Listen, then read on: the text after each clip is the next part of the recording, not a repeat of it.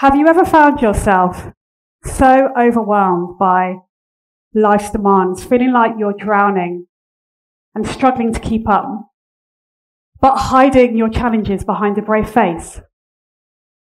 Because I certainly have. Today I'm going to take you on a personal journey of a period in my life when I was feeling just that way.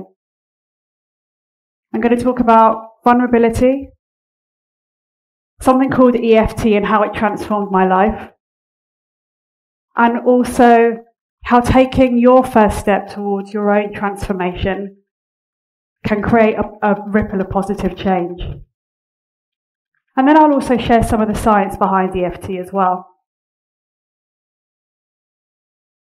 So, growing up, my family didn't exactly encourage me to openly express my feelings. In fact, emotions were often treated as something to be kept hidden, almost like a closely guarded secret. And it wasn't because my parents were unloving or unkind, rather, it was a reflection of the cultural and generational norms of our household.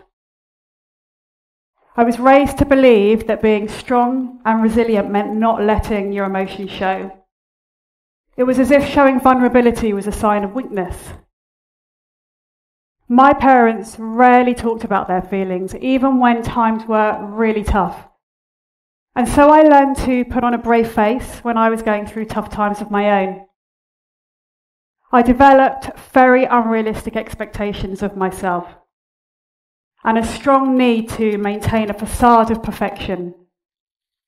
I believed I had to be the ideal wife, perfect mother, and boss, all while maintaining the illusion that everything was under control.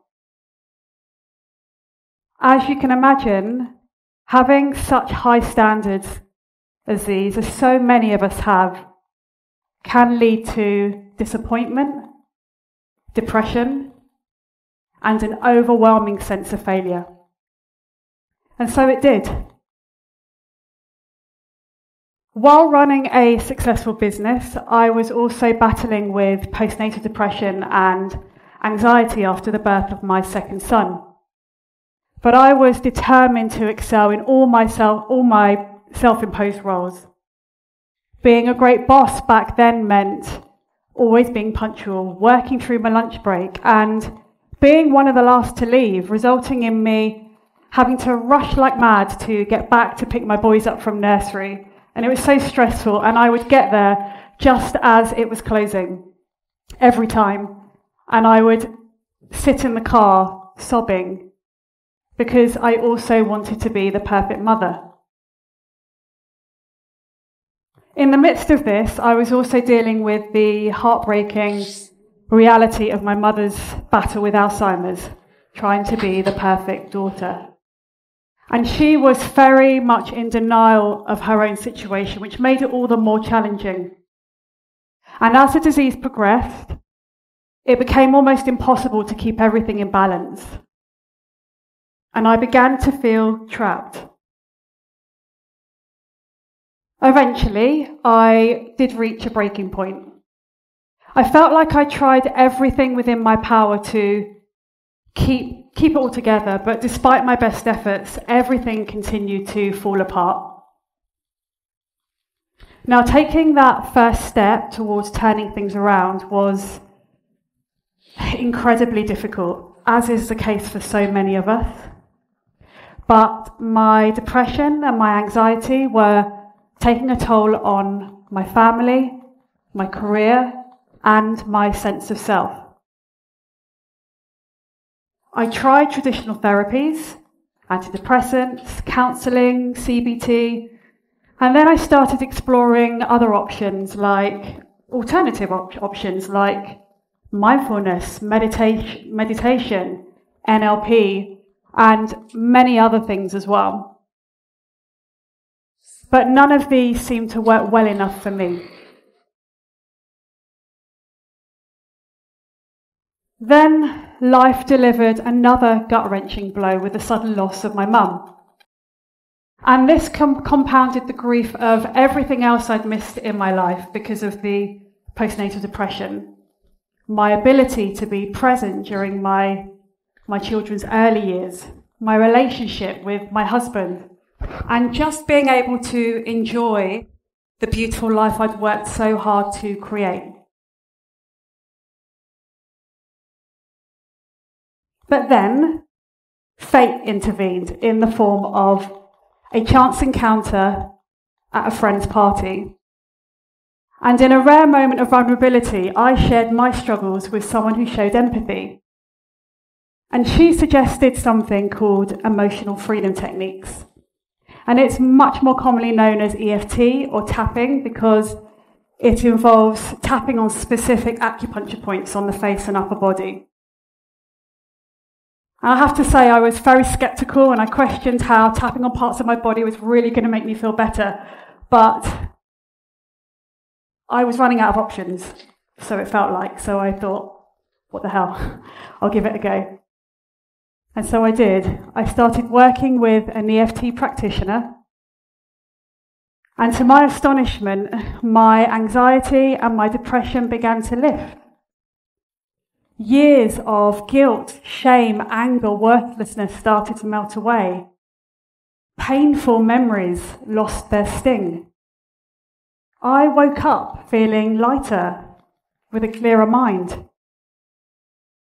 I started laughing again having fun with my kids, reconnecting with my husband. The transformation was profound and fast. I felt like a different person in a matter of weeks. And it didn't stop there. The effects rippled across my entire family. As I continued to explore EFT, I used it to help my son overcome anxiety at school. I used it to navigate any conflict. It brought a sense of calm into my home and drew us all together again.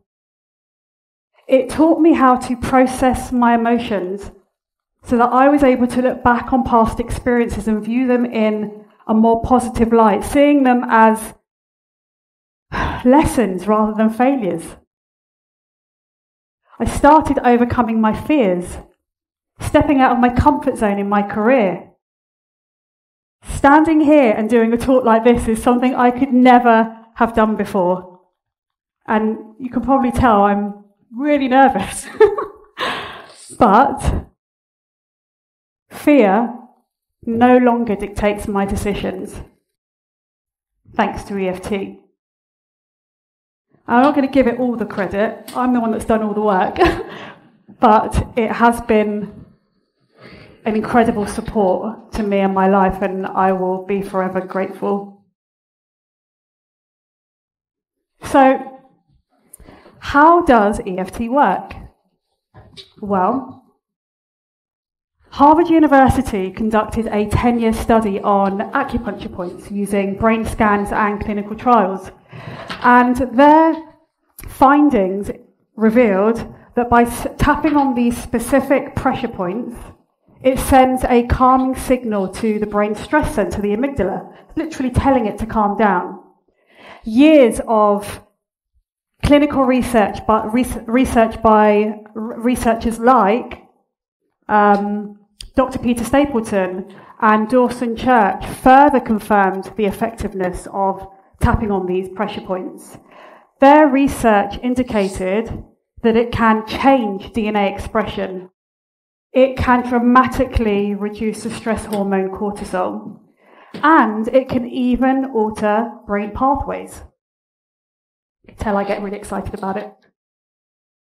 EFT is used to treat a wide range of issues, from phobias, PTSD, chronic pain, through to enhancing sports performance. As I witnessed firsthand the profound changes it can have, I developed a strong desire to want to share EFT with other professionals, helping them create lives that they love, and working with corporates, helping them to enhance their team's performance.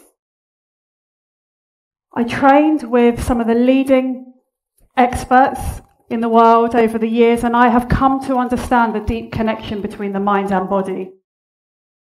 Unlike therapies that focus solely on cognition, EFT marries the mind and body addressing not only our thoughts, but also our nervous systems and the emotions held within as well. So, why am I sharing this with you today? To show you that it only takes one step to start the process of reconnecting with ourselves, creating a ripple effect that transforms our relationships, our families, and our communities.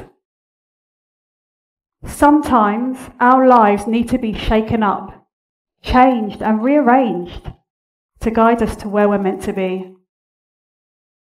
And that may require an open mind, the courage to be vulnerable, and the willingness to try things that you never thought you would. In a world where the demands of life can be so overwhelming, we can't solve our problems by silently suffering behind the brave faces we're used to wearing. To truly change, we must open up and transform the way we perceive things. Because when we do, it opens up a world of possibilities, touching not only our lives, but those around us too. So, in the end, I want to leave you with this. Sometimes the answers to our most biggest challenges can be found in the most unexpected places, such as unconventional methods like EFT. So I encourage you to take that first step because your journey to a happier, healthier life might be just around the corner. Thank you.